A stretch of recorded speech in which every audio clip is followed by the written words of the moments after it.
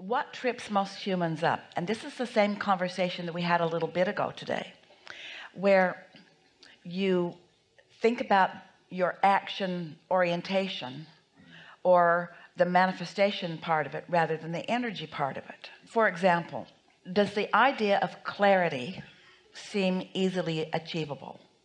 On certain topics yes. Say again? On certain topics yes. Do you think that you could get clear on something today mm -hmm.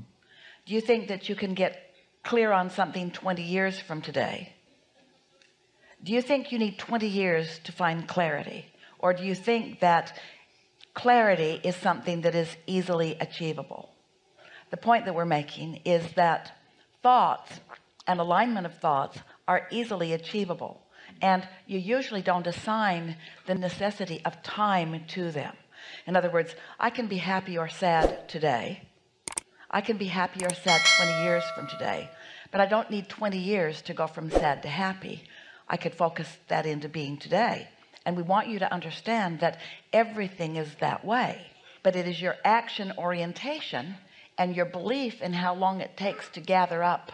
If you can think of money as energy rather than as money then you can shorten the timeline so would you suggest then to just keep setting kind of baskets in feelings not necessarily a dollar amount but just feelings where I feel it's satisfying and then let this good feeling I have about what the 1.5 billion stands for? Yes but even more we would focus upon the outcome that you're reaching for rather than the means that you believe is necessary to accomplish it. If you think about what you want and why you want it the energy is usually clear but if you think about what you want and how you're going to get it and when it's going to come and what it's going to require and who's going to be there then you introduce a lot of unnecessary questions to which you don't have the answers which just piles resistance which makes the timeline have to be more spread out. But it doesn't need to be. The universe can deliver it to you as quickly or as slowly as you believe it to be. And that's why sometimes when people talk to us about big goals that they have big goals we encourage them to not put those extra descriptive words around it. Because when it feels big then you mean it feels slow or it feels harder or it feels less likely. You just sort of want to find the feeling of it which can be clean and resistance free right now. Mm -hmm. hence the button and this type of that's what that whole analogy is about. And also this is something that we have heard from many people over time. I want this big sum of money but I'm going to do a lot of good with it in a sort of justifying I need the justification for doing the good before I will allow the good to come to me and we want you to just want it mm.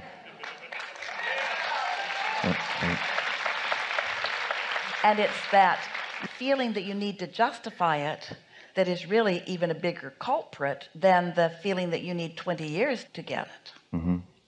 Okay. So then the feeling is wonderful. Why so much money anyway? That's Nothing what, should cost that much. That's what it costs.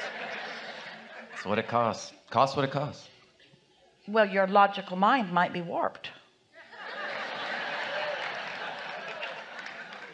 because we cannot assign monetary value to energy and when you stop doing it you'll get a lot more bang for your buck yeah.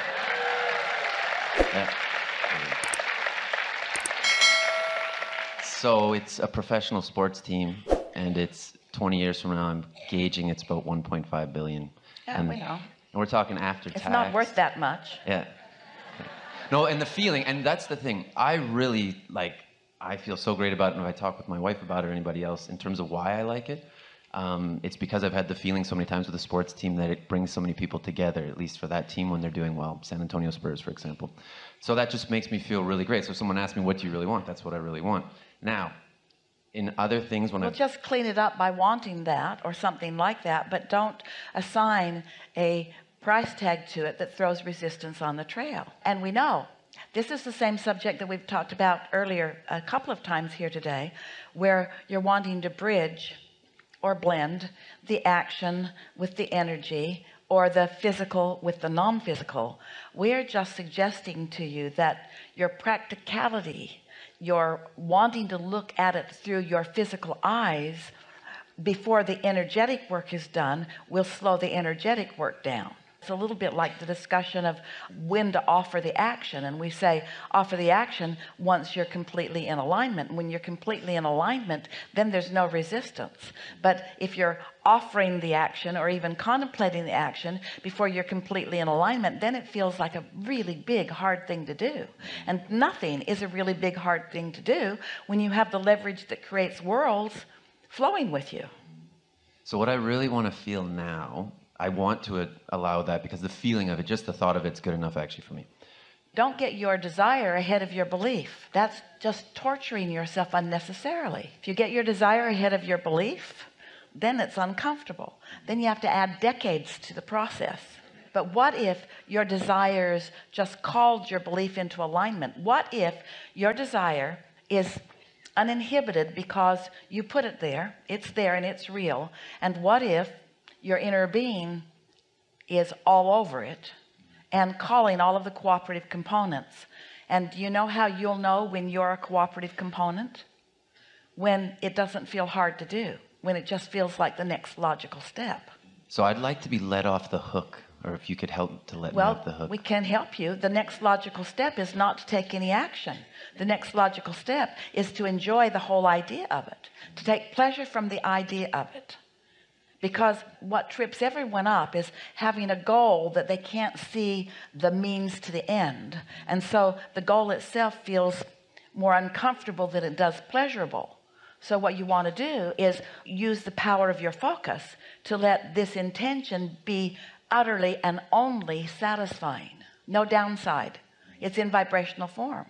You know every empire even every relationship every magnificent creation really every creation is accomplished vibrationally almost immediately long before you allow the physical bricks and nails and boards and sports people to become part of the equation.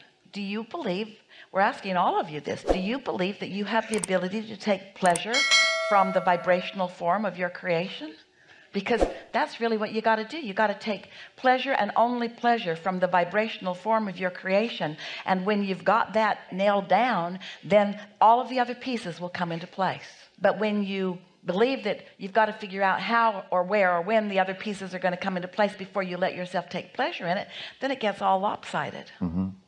so you said the active it's active in the in the vortex. And that and by active yeah. we mean attractive in nature. Mm -hmm gathering the cooperative and if I components. don't go, if I don't go towards it because I've um, created it, the feeling of it and the desire for it, that's the thing I want to be left off the hook of. If I don't ever achieve that thing, that feeling, except for the feeling, that's enough. I want to, because the physical is so still something that we. Well, that's illogical. Someone who really wants something cannot say that. Okay. A lot of humans try to say that. We never have any of it. But a lot of humans try to say that because what they're wanting to do is let themselves off the hook for the doubt that they currently possess. We're just saying get rid of the doubt. Can't get rid of anything. Replace the doubt with the pleasure of the idea. We want you to all receive the benefit of this conversation because most people have an idea or a goal that they want to achieve and they feel like it needs to be accomplished before they can really settle into the pleasure of it. Once I get this then I will have the success that I wanted and then everything clicks together. We want it to click together in the vibrational phase. And you know when it's come together the success that you're looking for is not just the ownership of the team or even the ability to leverage their talent and probability against the cost of them we want the desire of it to be all that you need to find. Thoughts are turning to things. And once you've put something into the vortex it's gathering the cooperative components. And minus your doubt the cooperative components would all come into place. Do you see yourself as one of the cooperative components? Because if there's hesitation you're not if you're trying to let yourself off the hook then you're not. You have to allow yourself to be a free flowing vibrational particle that can be attracted by the idea of your desire. Step one is you gave birth to it. Step two is it's alive and it's real and your inner being and all of the forces all of the leverage that creates worlds it's all there for you. You have to let yourself go with it. If you have given birth to it you will never be able to hold yourself apart from something important that you've given birth to and be joyful. So it's not just giving up the idea of the dream it's giving up the happiness that the dream promises. Oh we're almost on it. The whole point of wanting it is for the happiness that the dream promises and then the manifestations it just it has to come. But when you say well maybe I'm willing to give up the big picture of it and we say you can't do that because now you've given up on the happiness that the dream promises. Are you following this? You either believe or you don't so I'm trying to get myself into a state of that feeling because I do have an attachment to it. This is the disadvantage of asking for things that are bigger than you believe. Ask for a whole bunch of things that are just the right size until you have shown yourself that all things are possible. That's the basket thing that Jerry was talking about. You get the basket out there so far you don't believe it. After a little while, you stop trying or you make up things that aren't true. I never really wanted to do that anyway. That's why I put it out there so far. I was just kidding. Mm -hmm. Yeah. So I have a uh, deep feeling that I, I, I can already see. I know I have it within me. Well, maybe it's not within you, but the potential of it is. When it's within you, you're not talking like this. When it's really within you, you're saying, I got this going on. Just thought I'd let you know. Watch for it. You'll see it. Remember mm. my face. Yeah. Yeah.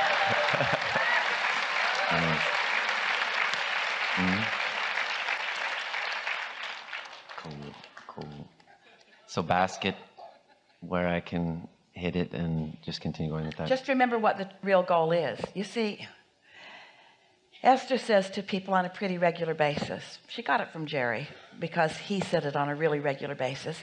They'd go somewhere and she'd say, just looking for something to want. Just looking for something that rings my bells because your bells ringing feels really, really good. And so when life shows you something that rings your bells you can keep those bells ringing as it comes into fruition. And by the time it comes into fruition there are a whole lot of other things that are ringing your bells too because you're not ever going to get it done. So it's the bell ringing that you're reaching for. It's the reason to focus and the reason to even care about how you feel.